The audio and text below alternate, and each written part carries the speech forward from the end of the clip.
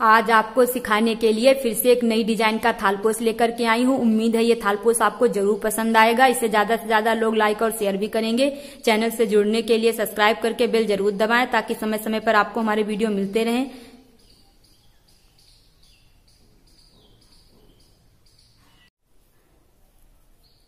अब इसमें हम 16 सिंगल क्रोशिया बुनेंगे। देखिए कैसे। पहले धागा अंदर की तरफ़ निकालेंगे। तीन फंदे का जंजीरा लेंगे, एक, दो, और ये तीन।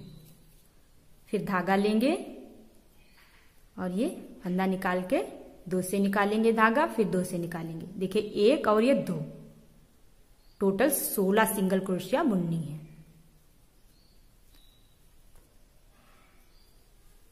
तीन धागा लेंगे, चार फिर से धागा लेंगे और ये पाँच। ऐसे ही आप सोलह क्रोशिया बुन लीजिए। सिंगल क्रोशिया सोलह बुननी है। इसमें टोटल हमने सोलह सिंगल क्रोशिया बुन ली है। अब इस धागे को पकड़ के खींच देंगे। देखिए इस तरह से। अब इसको आपस में जोड़ेंगे। इसको जो हमने पहले तीन फंदे का जंजीरा लिया था उसमें पहले वाले फंदे से इसे जोड़ेंगे। अब ये धागा हट, ऊन हटा करके अब हम दूसरे कलर की ऊन जोड़ेंगे। यहीं पे हम अपने दूसरे कलर की ऊन जोड़ेंगे।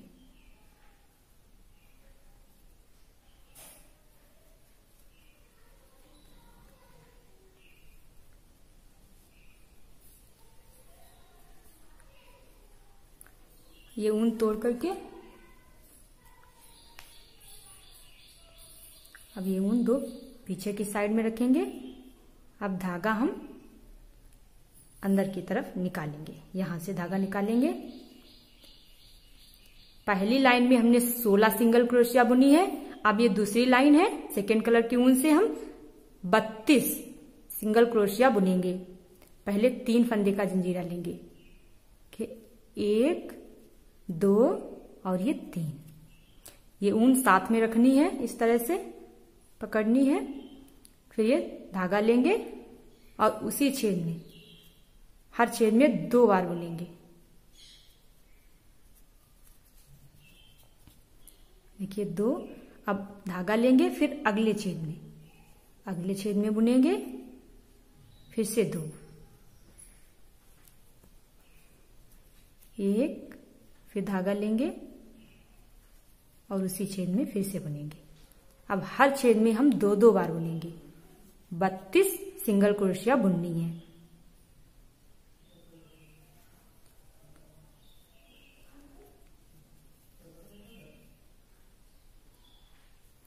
ये लाइन आप दूसरी पूर कर लीजिए। इसी तरह थालपोस की हमने नौ लाइनें पूर कर ली हैं। पहली लाइन में हमने एक सिंगल क्रोशिया एक चैन, एक सिंगल क्रोशिया दूसरी लाइन में हमने दो सिंगल क्रोशिया एक चैन और दो सिंगल क्रोशिया तीसरी लाइन में तीन सिंगल क्रोशिया एक चैन और तीन सिंगल क्रोशिया चौथी लाइन में चार सिंगल क्रोशिया एक चैन और चार सिंगल क्रोशिया पांचवी लाइन में पाँच सिंगल क्रोशिया एक चैन और पाँच सिंगल क्रोशिया छठी लाइन में छह सिंगल क्रोशिया एक चैन और छह सिंगल क्रोशिया अब ये सातवीं लाइन है। सातवीं लाइन में हमने जैसे छठी लाइन में बुना है, छह सिंगल क्रोशिया एक चैन और छह सिंगल क्रोशिया फिर ये हमारी आठवीं लाइन। सात सिंगल क्रोशिया एक चैन सात सिंगल क्रोशिया ये नवी लाइन में आठ सिंगल क्रोशिया एक चैन और आठ सिंगल क्रोशिया वैसे आठ लाइन है और ये छठी लाइन और ये सातवीं लाइन में हमने छह सिंगल क्रोशिया और एक चैन दोनों सेम बुने हैं। अब हम सेकेंड कलर की ऊन जोड़ ली है। अब इससे हम बाउडर बनाएँगे।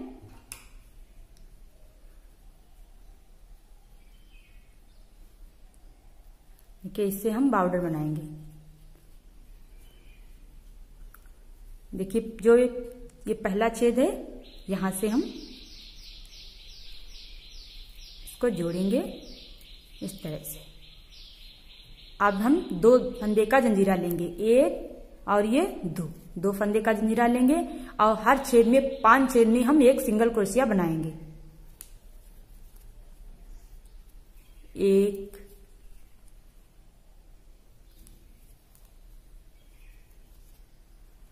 दो तीन।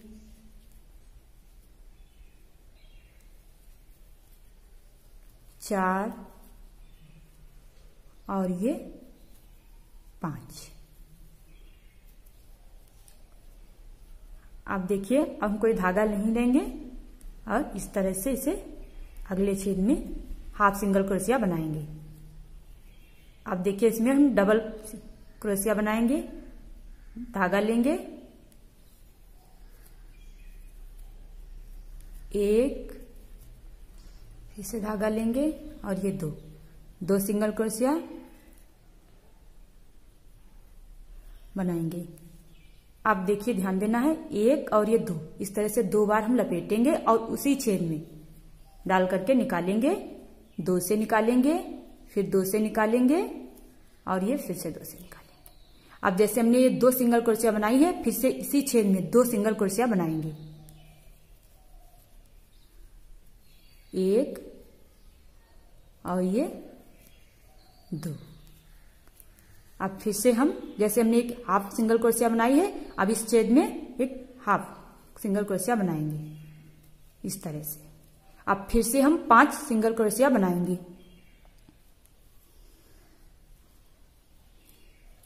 एक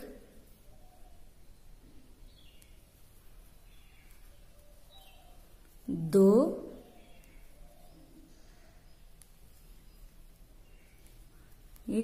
तीन तीन और ये चार और ये पाँच। पाँच सिंगल क्रोशिया हमने बुन ली है। अब एक, देखिए, एक हाफ़ सिंगल क्रोशिया बुनेंगे। अब इस छेद में हम एक हाफ़ सिंगल क्रोशिया बुनेंगे। अब हमें यहाँ आना है, फिर हम इस छेद यहाँ से इस तरह से फंदा निकालेंगे। अब देखिए, अब हम यहाँ तक ये वाली लाइन हम बुन करके लाएँगे, फिर यहीं से यहाँ तक फिर से एक लाइन बुन करके लाएँगे। इस तरह से ये थालपोस पकड़ेंगे। देखिए, इस तरह से ये थालपोस पकड़ेंगे। अब हम दो सिंगल, दो चैन बुनेंगे। एक, और देखिए, और ये दो। दो चैन बुनेंगे